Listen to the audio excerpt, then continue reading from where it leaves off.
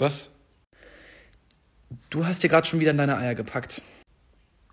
So, sorry, Baby, ich hab dir doch schon mal gesagt, das ist normal. Das passiert halt einfach. Nee, nee, finde ich halt nicht, dass es normal ist, wenn wir zusammen einen Film gucken, dass du dir da unten da reingreifen musst. Das ist, das ist normal, das macht jeder Junge so. Es passiert einfach. Okay. Was ist, was ist so toll daran? Keine Ahnung, sag du es mir. Du machst es auch manchmal. Das ist was anderes. Könntest du dir vielleicht jetzt kurz die Hände waschen gehen? Warum? Oh Gott, bitte. Okay, fass mich bitte jetzt einfach nicht an, ja? Warum? Ich habe eben geduscht. Das ist, eine, das ist eine ganz normale Körperstelle. Nee, ist dein, ist dein Genitalbereich. Muss ja einfach nicht sein. Sa sag mir bitte jetzt mal, warum, sag mir bitte, warum du so bist. Du darfst da halt nicht dran. Nur ich darf da dran.